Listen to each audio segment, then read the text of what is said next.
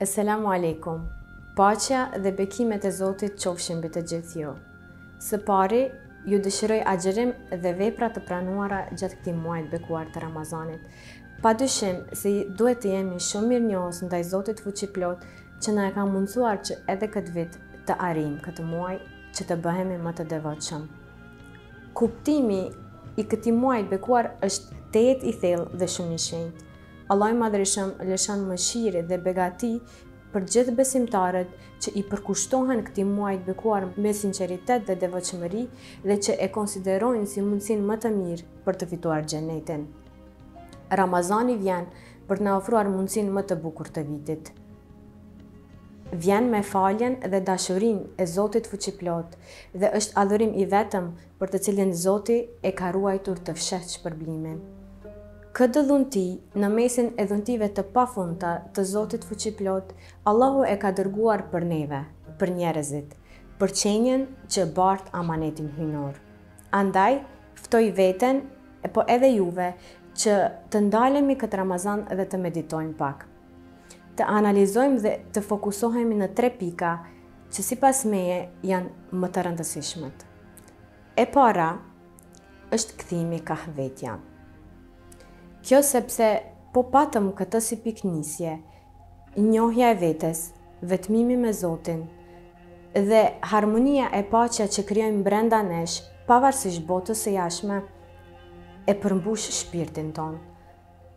Në këtë botë me sfida të panumërta dhe në këtë periudhë të vështirë nëpër të cilën po jetojmë, mos ta humbasim veten.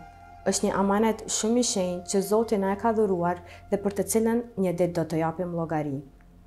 Është një dhuratë shumë e vlerë, shpirti që frymon brenda nesh e që bart peshën e botës, që është mjaft sfiduese.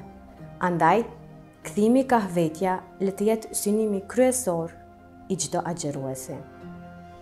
E dyta, që është në lidhje të pandashme me këtë që fola më parë, është shtimi i adhurimeve dhe veprave të mira në këtë muaj të bekuar.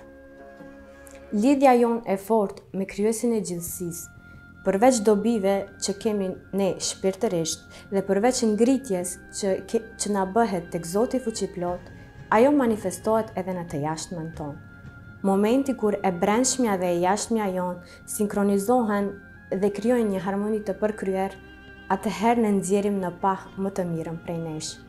Kështu, ne e plotësojmë vetveten tonë dhe po ecim mjaft mirë drejt qëllimeve të Ramazanit.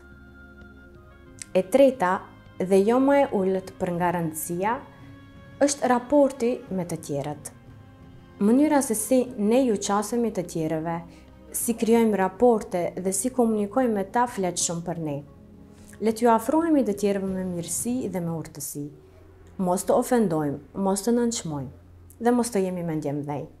T'i respektojmë ndjenjat e tjetrit, të ndihmojmë, t'i gëzojmë dhe t'i bëjmë të lumtur, e mbi të gjitha të jemi mirënjohës dhe falënderues. Janë këto disa nga rregullat e arta të mirësjelljes mbi të cilat duhet të ndërtohen raportet ndërnjerëzore.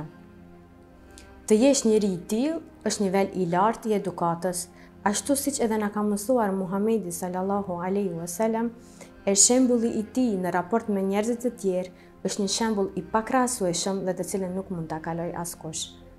Të mbjellim cilësitë e bukura në edukatën tonë. Ta zbukurojmë vetveten tonë shpirtërisht, le të fillojmë që nga ky Ramazan. Sepse po, Ramazani vjen për të na treguar se ne mund të jemi njerëz më të mirë. Andaj, mos të jetë ky thjesht vetëm një Ramazan i radhës, po le të jetë një mundësi e mirë për ta ndryshuar dhe për ta ngritur veten tonë, Ngritje kjo e cila do të jetë shumëdimensionale. Lus Zotin Fuqiplotë që të na begatojë me të mirat e Tij të pafundta dhe të na bëjë prej besimtarëve që do të përfitojnë nga ky muaj i bekuar. Eselamu Alejkum.